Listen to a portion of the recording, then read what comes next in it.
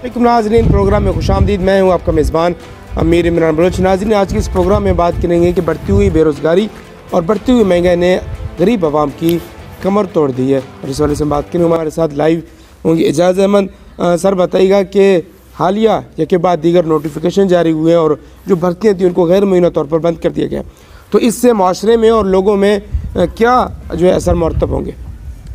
वालेकुम सलाम इमरान भाई, बहुत शुक्रिया मुझे प्रोग्राम में इनवाइट करने का।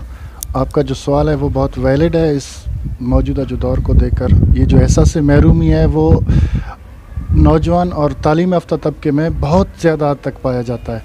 इसकी एक वजह तो ये है कि महँगाई दिन ब दिन बढ़ती हुई महँगाई और माशरे में नाइंसाफ़ियाँ जो आप सबके सामने हैं। और इससे बड़ी जो सतम ज़रीफ़ी है कि यहाँ पोस्ट बहुत कम क्रिएट होते हैं।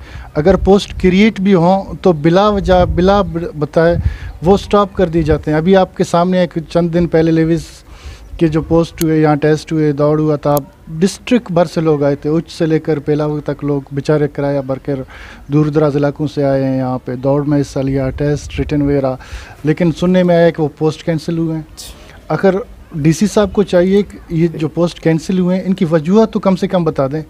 ये इसकी वजह से कुछ और जो हैं सवाल जहनों में पैदा हो रहे हैं कि क्या वजह है? लोगों में, एक तो इस दौर में करप्शन का दौर दौर है। हर एक के जहन में ये सवाल पैदा होता है कि ये आपस में ना बने होंगे, या तो पैसों वालों के लिए पोस्टें हैं, जो मेरिट है, वो उसका हमेशा ही ऐसे ही कत्ल होता जाएगा।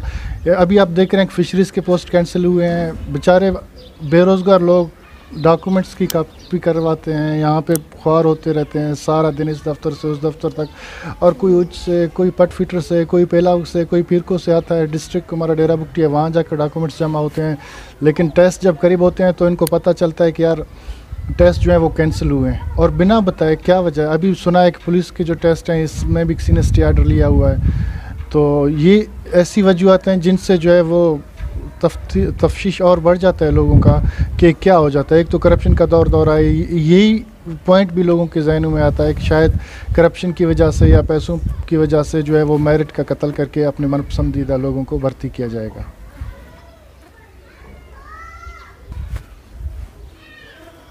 आज ऐसा बताएगा कि बढ़ती हुई बेरोज़गारी और इस महँगाई को किस तरह से कंट्रोल किया और इमरान भाई बेरोज़गारी आपका सवाल जो वैलिड है मैं नहीं समझता कि इसके लिए कोई ठोस इकदाम हो रहे हैं यहाँ पे। देखें, बेरोज़गारी जो है वो हमेशा जॉब क्रिएशन से ख़त्म हो जाता है और यहाँ पर वो चीज़ है नहीं, ना यहाँ पे फैक्ट्रियाँ हैं ना यहाँ कारखाने और गवर्नमेंट चंद पोस्ट जो अनाउंस करता है, वो भी हमेशा पेंडिंग में रहकर कैंसिल या मुलतवी हो रहे हैं। और मुझे नहीं याद कि गुजशत दो सालों में कोई इस तरह के पोस्ट आए हों जहाँ पे रोज़गार नौजवान मेरिट पर ही भर्ती हुए हैं। इसके अलावा तो नहीं, मुझे नहीं लगता कि ये भी चीज़ें इस दौर में कम से कम दो तीन साल में कंट्रोल हो सकेंगी। बहुत शुक्रिया सर प्रोग्राम में आने का। ये थे एजाज अहमद और जिस तरह आपने उनकी बातें सुनी कि इस महँगाई को किस तरह से कंट्रोल किया जा सकेगा, किस तरह से इस महँगाई को ख़त्म किया जा सकेगा, लेकिन अभी कुछ एक दो तीन सालों में कोई रुझान नज़र नहीं आ रहा। मौजूद है हबीबानी कौमी इत्तेहाद के चेयरमैन शोएब अहमद भुट्टी उनसे पूछते हैं कि वो इस सवाल से क्या कहना चाहेंगे कि जिस तरह बेरोज़गारी जो अरूज पर है और महँगाई जो है वो अरूज पर है, उस वाले से वो क्या कहना चाहेंगे? जी शोएब भाई। बहुत शुक्रिया मीर इमरान साहब कि आपने अपने प्रोग्राम पे हमें बुलाया। किया बढ़ती हुई बेरोजगारी सुई और डेरा बुकती में तो ये आए दिन इस चीज़ का रेशो बढ़ रहा है। क्योंकि हमारे नौजवान काफ़ी अरसे से आ, बाहर जा रहे हैं पढ़ रहे हैं इंजीनियर बन रहे हैं डॉक्टर बन रहे हैं। और कोशिशें बहुत कर रहे हैं कि वो अच्छे से अच्छे से तालीम हासिल करें। लेकिन उनकी बदकिस्मती ये है कि कोई भी कंपनी जॉब के असामियाँ नहीं दे रही। खासकर सुई देरा बुकटी में पीपीएल, जिन्होंने 2013 से अपने असामिये बंद किए हुए हैं। जिसका नुकसान यही हो रहा है कि आए दिन लोग तालीम तालीम हासिल कर रहे हैं लेकिन उन्हें जॉब नहीं मिल रहा। कंपनियाँ असामियाँ खोलेगी तब जाके ये बेरोजगारी के अंदर कमी आएगी। बहुत शुक्रिया शोब भाई जिस तरह आपने शोएब अहमद की बातें सुनी कि इस महँगाई और बेरोज़गारी में वो किस तरह से गुजारा कर उनको बड़ी मुश्किल का सामना करना। हमारे साथ एक और गेस्ट मौजूद है हनीफ स्टूडेंट बिरयानी से। सर अस्सलाम वालेकुम। वालेकुम अस्सलाम इमरान। और वही बताइएगा कि बढ़ती हुई बेरोज़गारी और यके बाद दीगर नोटिफिकेशन जो जारी हुए जो भर्तियाँ थी उनको गैर एलानिया मुद्दत के तौर पर बंद कर दिए गए। उस वाले से आप क्या कहना चाहेंगे? इमरान भाई, इस सवाल का जवाब मैं इस तरह से देना चाहूँगा कि बढ़ती हुई जो बेरोज़गारी है, इसके बहुत सारे नुकसान हैं। एक बंदा होता है कि जो पेरेंट्स जो हैं, उनको बहुत ज़्यादा ख़र्चा करा के एक डिग्री लेकर देते हैं। वो दर बदर की ठोकरें खाता है आउटसाइड आउटसाइड जाते हैं, जो है ना हॉस्टल्स में रहते हैं, बाहर ख़र्चा करते हैं। लेकिन उसके बाद भी अगर उनको, उनके मैार के मुताबिक जॉब्स नहीं मिलते हैं या नोटिफिकेशन पे नोटिफिकेशन आती है और जॉब्स बंद हो जाते हैं तो इससे एक माशरे पे और उन लोगों पर बड़ा गहरा असर होता है। बड़ा नुकसानदेह असर होता है।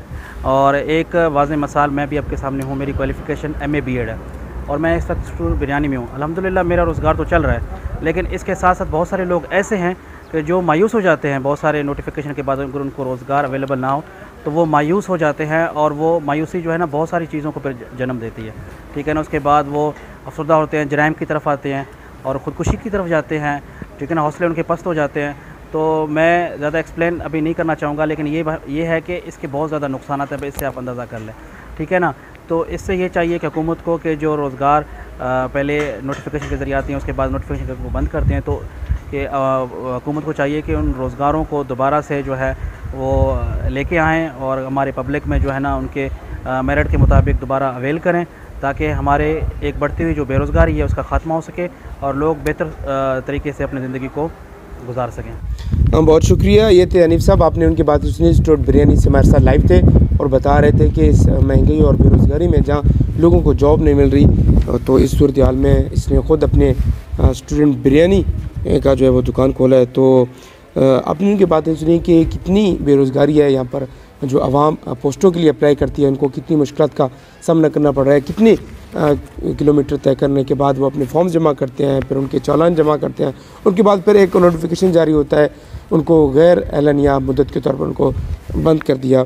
इस वक्त हमारे साथ मौजूद है खादम हुसैन उनसे पूछते हैं कि इस हवाले से वो क्या कहना चाहेंगे। खादम हुसैन का आ, मैं आपको इंट्रो बताता चलूँ।